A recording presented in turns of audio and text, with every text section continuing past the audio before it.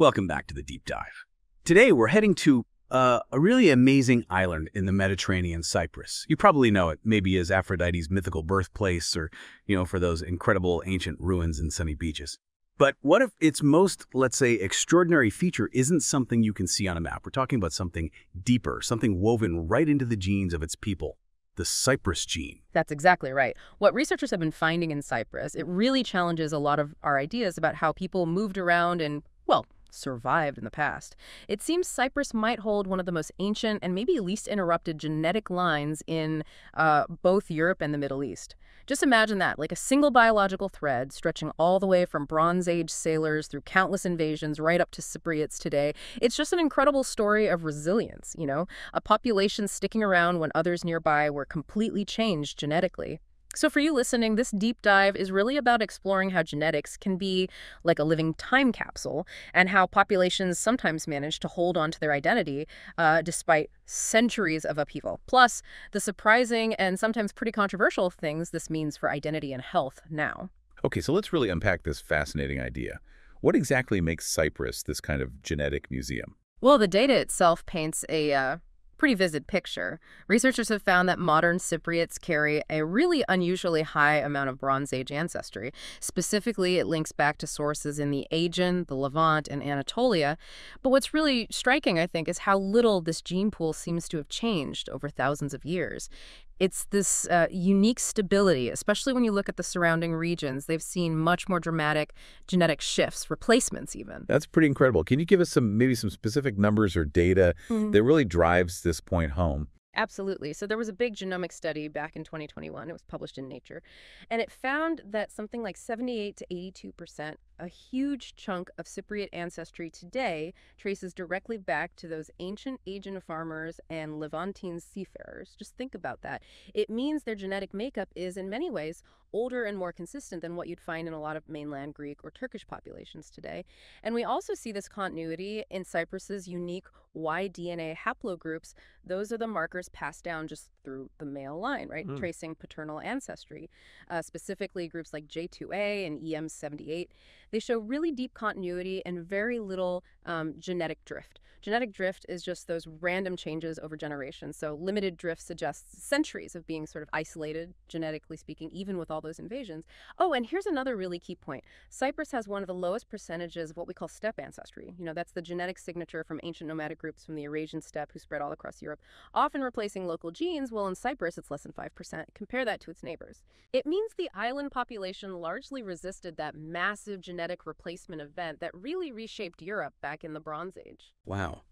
It really does paint a picture of history written directly into DNA, doesn't it? Just this remarkable biological continuity that, like you said, a few places can claim. And what makes it even more astonishing, thinking about that deep genetic foundation, is how it managed to last through centuries of invasions that completely changed the surrounding regions. I mean, Cyprus has such a turbulent history. It feels like almost everyone conquered it at some point. Assyrians, Egyptians, Greeks, Romans, Byzantines, Arabs, Crusaders, Ottomans, the British. So despite all of that, how on earth did its gene pool stay so, well, stable? How did this living museum survive all that when others were genetically reshaped? Yeah, it's a great question. Scientists suggest there's a fascinating dynamic going on. While, yes, the language changed, the religion changed, the way the island was governed changed dramatically under all those empires. It seems the rural and island populations often managed to preserve their genetic identity. How? Yeah. Well, likely through just consistent intergenerational continuity. You know, marrying locally, continuing to farm the same lands generation after generation, and uh, essentially resisting widespread genetic assimilation from the outside, it's really a testament to the resilience of those local communities. It shows that political conquest doesn't always mean genetic replacement. That makes a lot of sense, actually, when you think about how local life was for most people historically, just staying put. But bringing these kinds of genetic findings into a place like Cyprus, well, it inevitably stirs up some complexities and, uh, let's just say, some pretty heated debates. Oh, absolutely. And this is where it gets incredibly sensitive because genetic studies have shown that both Greek Cypriots and Turkish Cypriots, you know, despite the deep political divisions, actually share over 96% of their ancestry. That finding, as you can imagine, throws a really complex wrench into long-standing political narratives. Right. And you can see how that plays out. You have some nationalist groups, maybe on both sides, who just outright reject these findings. They argue that, you know, political identity or modern nationality is what matters, not some shared genetic past. Yeah. But then you also have others saying, hold on, maybe it's time we reframe the whole Cyprus story around this shared heritage instead of just focusing on the division. And this really brings up a fundamental question, one that goes way beyond Cyprus. Should we even be using genetics to define national identity in the first place? When you take scientific findings like this and drop them into such a politically charged situation, well, the Cyprus gene suddenly becomes more than just biology. It becomes uh, potentially political dynamite. That's a really powerful point. It highlights the challenge, doesn't it? You know, for me, what's striking is how science, which is supposed to be objective, can get so tangled up in these very subjective human issues of identity and conflict. It really forces you to ask, are these biological connections ultimately more unifying or divisive when the history is already so painful? Let's maybe shift gears slightly, though, move away from the history and politics for a moment. Let's talk about how this unique genetic profile offers um, modern health insights. Because it's not just about the past, right? It's also about what these genes mean for people living on the island today. Not at all, you're right. This genetic distinctiveness actually provides some powerful insights for modern medicine. Recent medical studies are finding certain, let's call them genetic quirks, among Cypriots that might give us incredible clues about patterns in neurological diseases, maybe even cancer resistance. For instance, there is a rare mutation in the BRCA1 gene, which is linked to breast cancer. It's found at elevated levels in Cypriot women. And this discovery has actually led to a very targeted screening program right there in Cyprus. It's possible that the lessons learned there could one day help improve breast cancer detection globally. And then there's thalassemia. It's a serious blood disorder, and it has a higher than average incidence in Cyprus. But this challenge didn't just create a problem, it actually forced Cyprus to take early, widespread action. It made them pioneers in population-level genetic screening. Their approach, which they started developing way back in the 1970s out of necessity, actually became a global model. It really showed how understanding a community's specific genetic predispositions can lead to truly transformative public health results They've nearly eliminated new cases of the severe form of the disease in newborns. So, yeah, Cyprus isn't just preserving ancient DNA like a museum piece. They're actively using that knowledge, that unique genetic heritage, to lead the way in some areas of modern genetic medicine.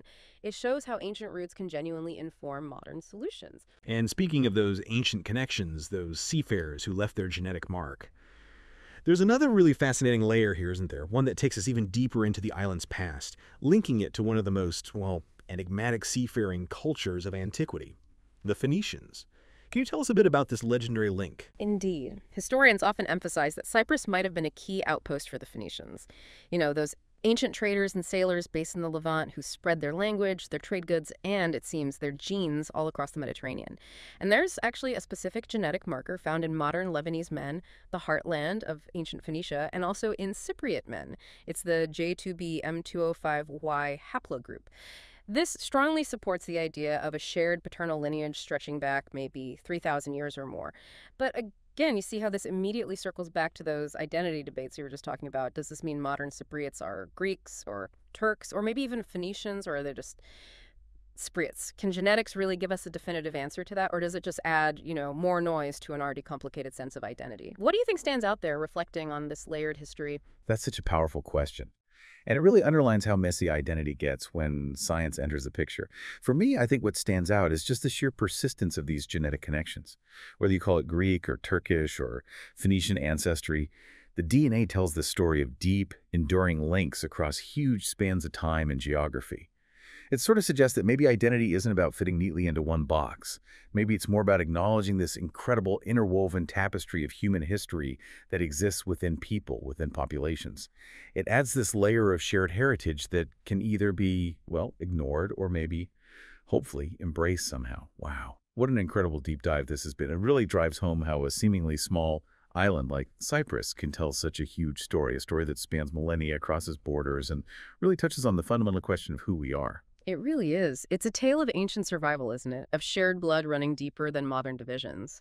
And uh, that ongoing tension between what science reveals and how societies decide to define themselves. So, thinking about all this, what does it mean for you, listening right now?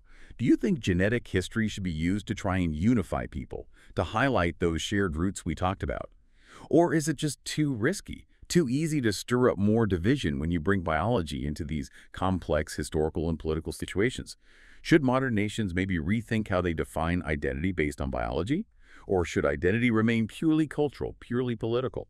It's definitely a lot to think about. And clearly, the conversation around the Cyprus gene and what it means is far from over.